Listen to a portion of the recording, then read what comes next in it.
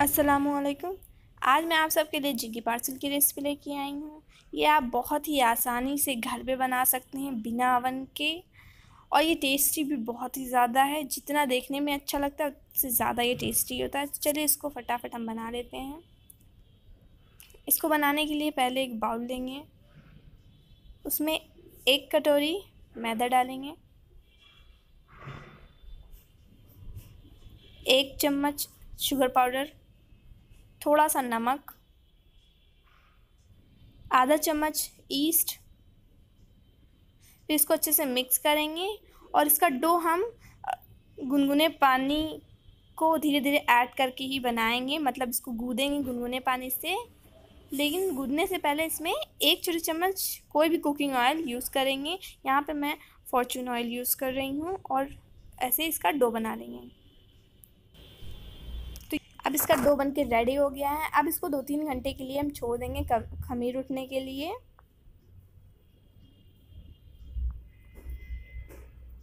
ये देखिए, ये इसका खमीर उठ चुका है। इस तरीके से ये हो जाएगा। तो इसको हम एक बार फिर से अच्छे से गूंद लेंगे।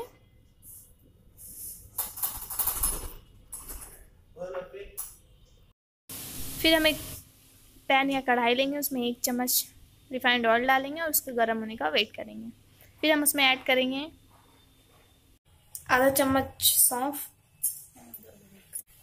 एक चौथाई चम्मच सरसों के दाने, एक छोटा चौथाई चम्मच साबुत सूखा धनिया, आधा छोटा चम्मच धनिया पाउडर, एक चौथाई चम्मच हल्दी पाउडर एक चम्मच चाट मसाला, आधा चम्मच गरम मसाला। सारे मसाले ऐड करने के बाद हम इसमें आलू डालेंगे। आलू को हमने हल्का सा मैश कर लिया। यहाँ पे मैंने तीन मीडियम साइज़ के आलू को उबाल के छील लिया था और ठंडा होने के लिए रख दिया था। पूरे ठंडा होने के बाद ही इसको यूज़ करिएगा। और मैंने अब इसमें स्वाद अनुसार नमक डाला है। अब इसको ऐसे ही मैं मैश कर लूँगी। इसको एकदम पेस्ट भी नहीं बनाना है। हल्का सा इसको बढ़ाई रखेंगे इसके पीसेस को। और मसाले डालने के बाद, आलू डाल, सब कुछ डालने के बाद, हम इसको एक से दो मिनट ही पकाएँगे ताकि इसमें सारा मसाला अच्छे से चला जाए। तो ये देखिए, मैंने बिल्कुल अच्छे से मैश कर लिया। अब मेरा ये फिलिंग रेडी हो गया है। और मैंने यहाँ पे एक पतीली में थोड़ा नमक डाला है और एक स्टैंड रखा है। और इस पर मैं एक ऐसा ढक्कन रखूँगी। उसके बाद इसको दस मिनट के लिए लो फ्लेम पे प्री हीट करूँगी। अब मैं इसमें एक बारीक कटी हुई हरी मिर्च डालूँगी। आप चाहें तो इसमें लाल मिर्च पाउडर भी डाल सकते हैं और हरी मिर्च आप मसाले जब डाल रहे थे तब भी डाल सकते हैं, लेकिन मैं अभी इसलिए डाल रही हूँ क्योंकि इसका कच्चापन मुझे अच्छा लगता है। अब हमने जो डो बनाया था उसको लेंगे। इस तरीके से उसको मैदा लगा के, लगा लगा के बड़ा करेंगे। पहले थोड़ा सा हाथ से, उसके बाद बेल लेंगे।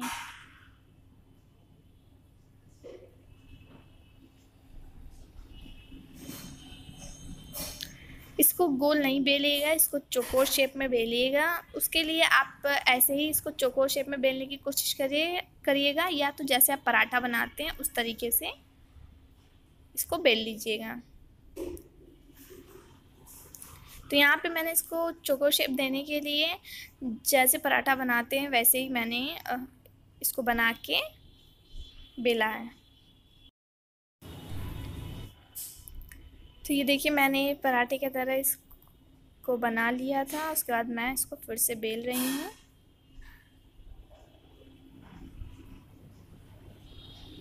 यहाँ पे मैंने देखिए, इसको इस तरीके से बेल लिया है।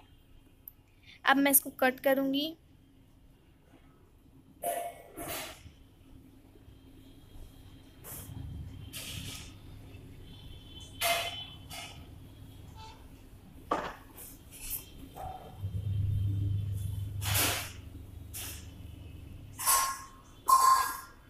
इस तरीके से इसको कट कर लेंगे।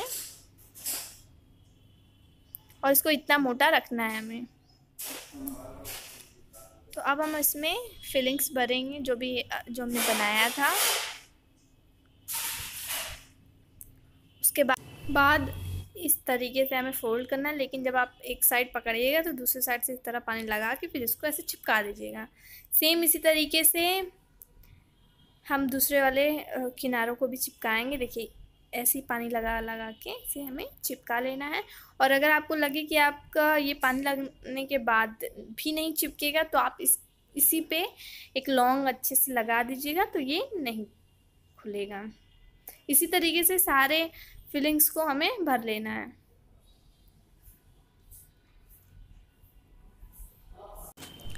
यहाँ पे मैंने चार पीस तैयार कर लिया है। आपको जितने पीसेस बनाने हों, आप उसको इसी तरीके से बना सकते हैं। और ये भी मेरा पतीली भी प्री हीट हो चुका है। दस मिनट तो अब मैं इसमें अपने झिंगी पार्सल्स को रखूँगी। आप चाहें तो ये जो बेस में आपने ढक्कन या कोई भी चीज़ रखा उसमें भी तेल लगा सकते हैं। और ये जो आपने पीसेस तैयार कर रहे हैं झिंगी के, उसमें भी तेल लगा के ही रखिएगा। और इसको 20 मिनट तक हमें ऐसे ही बेक करना है। तो ये देखिए, ये बेक हो चुका है एकदम अवन की तरह। आप अगर किसी के सामने इसको देंगे, किसी मेहमान को सर्व करेंगे तो वो ये नहीं कहेगा कि विदाउट अवन का है। एक बार आप इसे ट्राई ज़रूर करिएगा।